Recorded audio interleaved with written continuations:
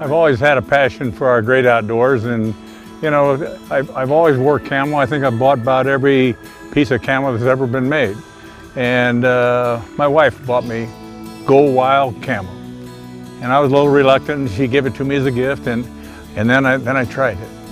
And I got. It's 3D and it keeps me warm, but at the same time, if I'm walking steep hills or sweating a lot, I don't get all hot and sweaty underneath.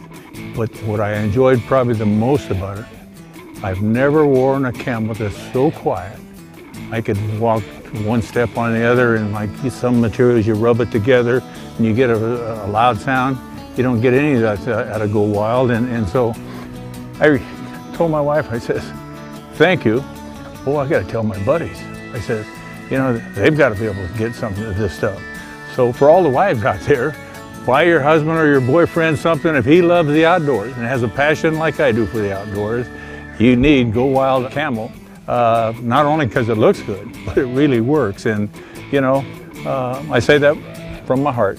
Being three-dimensional, I just seem to blend right in with the environment. I've had deer look right at me, and I, I was hunting recently, and we had elk. Elk walked right up and looked right at me, and as long as you didn't blink or didn't move, they just turned their head and then they walk off. Then I really knew that the, the camo that I was wearing really worked.